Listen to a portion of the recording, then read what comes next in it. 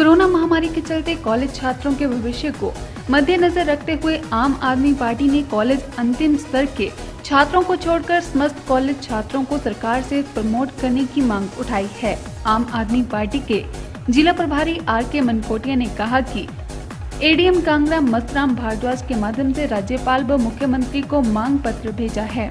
Are के मनकोटिया ने कहा कि कोरोना महामारी के काल में फिर चाहे शिक्षा का क्षेत्र हो या अन्य सबको भारी नुकसान झेलना पड़ा है। उन्होंने कहा कि आम आदमी पार्टी ने कॉलेज छात्रों के भविष्य को ध्यान में रखते हुए समस्त छात्रों बीए, बीएससी, बीकॉम, बीटेक इत्यादि अंतिम स्तर के छात्रों को छोड़ अन्य को प्रमोट करने की सरकार से मांग उठाई है ताकि कॉलेज छात्रों में परीक्षाओं को लेकर पैदा हो रहे मानसिक तनाव से मुक्ति दिलाई जा सके।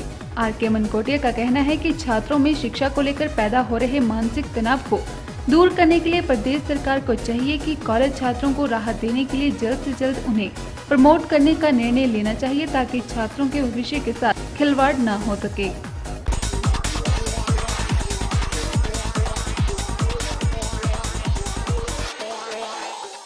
सांसद किशन कपूर ने कहा कि धर्मशाला को स्मार्ट सिटी के रूप में विकसित करने के लिए आम जनमानस की सहभागिता भी सुनिश्चित की जाए। उन्होंने कहा कि धर्मशाला स्मार्ट सिटी में 100 करोड़ रुपए की लागत से इंटीग्रेटेड कमांड कंट्रोल सेंटर बनने जा रहा है, जिसकी सैद्धांतिक मंजूरी मिल चुकी है तथा इसकी डीपीआर बनाई जा रही है। किशन कपूर डीआरडीए के सभागार में स्मार्ट सिटी एडवाइजरी फोरम की बैठक की अध्यक्षता करते हुए बोल रहे थे। उन्होंने कहा कि 20 करोड़ रुपए की लागत से एचआरटीसी के माध्यम से शहर के लिए 15 इलेक्ट्रिक बसें खरीदी जा रही हैं और शहर में विभिन्न स्थानों पर 10 चार्जिंग स्टेशन भी स्थापित किए जा रहे हैं। उन्होंने कहा कि इन बसों के आने से शहर में पर्यावरण संरक्षण में भी मदद मिलेगी और शहर को आधुनिक परिवहन सुविधा प्राप्त होगी।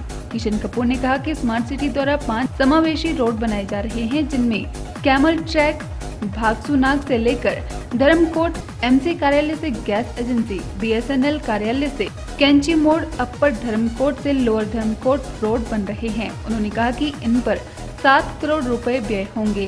कपूर ने कहा कि स्मार्ट सिटी के तहत पार्किंग की समस्या से निपटने के लिए पहले एक पार्किंग दलाई लामा मंदिर के साथ बनी थी। उसे अब और बढ़ाया जा रहा है। उन्होंने कहा कि पार्किंग निर्माण में जो कमियाँ हैं, उन्हें दूर किया जा रहा है। इसके अतिरिक्त स्मार्ट सिटी के तहत हिलन घर, बस अड्डा के पास भी पार्किंग का निर्माण किया जा रहा है।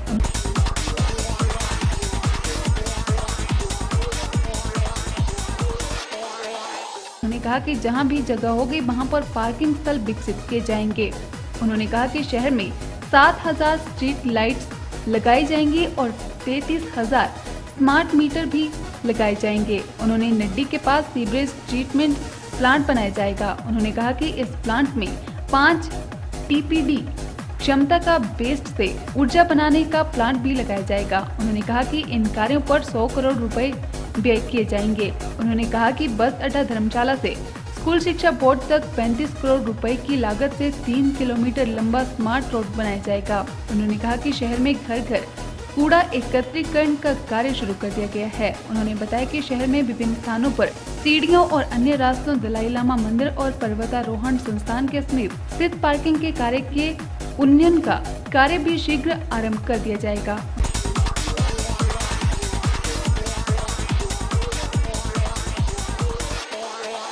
उन्होंने कहा कि स्मार्ट बस शेल्टरों के निर्माण और पुराने बस शेल्टरों की मुरम्मत का कार्य प्रगति पर है। उन्होंने बताया कि इन कार्यों पर 42 करोड़ रुपए व्यय किए जा रहे हैं। इस अवसर पर विभिन्न संस्थाओं के पदाधिकारियों ने शहर को सुंदर बनाने के लिए अपने बहुमूल्य सुझाव दिए। कपूर ने कहा कि उनके सुझावों पर सहानुभूति पूर्वक विचार कर अमल किया जाएगा। उन्होंने कहा कि स्मार्ट सिटी के तहत सभी कामों का अमली जमा पहनाया जाएगा ताकि शहर साफ़ सुथरा रहे।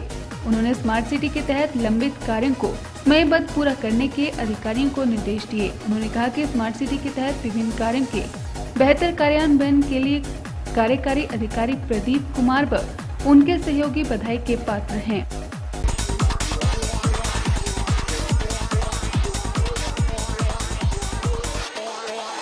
उनके प्रतिनिधि यहाँ आए थे।